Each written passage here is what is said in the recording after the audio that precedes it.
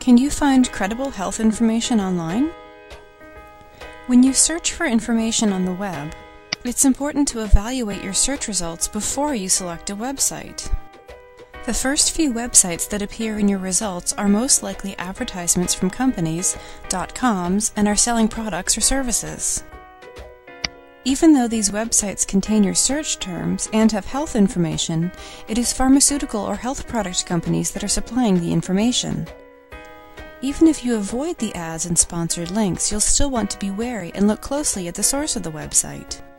Many websites that have health information are still cluttered with ads and sponsored links. Even if it looks like an official health organization, it is a good idea to dig a little deeper before you trust the information that's on that website. The first thing to do is look for the person or organization who is behind the website. If you cannot tell or there is no contact information, this may be a red flag. When looking through your search results, be sure to look at the web address before you make a selection. For example, health insurance company websites can be a good place to find information about health insurance and coverage. But for the most part, try to avoid .com websites unless you intend to purchase products or services related to healthcare.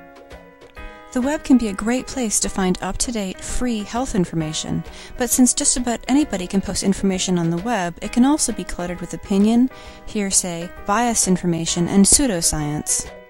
So rather than using a web search engine to find information, you may want to start by identifying credible health websites and going to those sites directly rather than taking your chances by searching the whole web at once.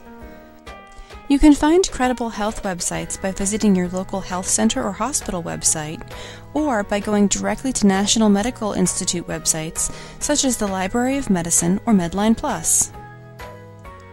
Identifying credible health websites and searching just those sites directly will take some of the guesswork out of finding health information on the web. You can find free educational resources online if you know where to look. Most of us start with a basic web search when we want to look for information. But if you rely only on the results from a web search, you'll only skim the surface. In a basic web search, some of the best websites are buried underneath a sea of popular, well-known sites. But if you search smartly, you can discover television and media sites, academic materials, and national repositories, all of which offer free materials such as streaming video, course readings and lectures, photographs and historical documents, and much more. Television programs from the Public Broadcasting Service and from many cable channels are available to stream online. Some of these websites may offer DVDs to purchase, but there are often full episodes and videos to stream for free. To find these, simply use the word video and the name of the show, channel, or network you wish to search for. Here's an example of a video from the series Nature that can be streamed from the PBS website.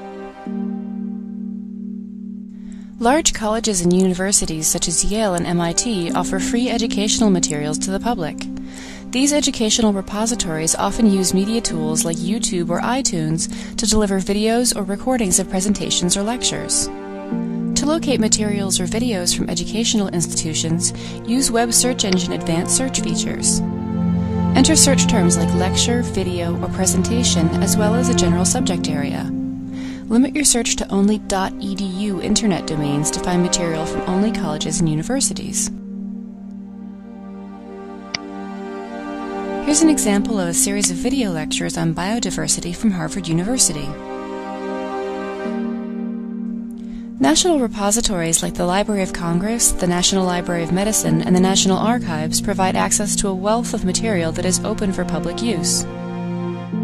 Again, to locate more examples of these repositories, use a web search engine's advanced search features. For health information, enter search words like treatment, research, diagnosis, or a specific disease, disorder, or medical term.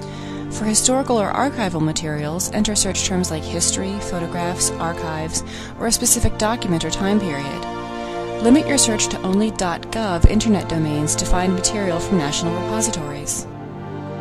Here are some examples from Medline Plus and from the National Archives website. Finally, don't forget about local resources such as Vermont Public Television, the University of Vermont, the Vermont Historical Society, the Vermont Department of Libraries, and your local public library.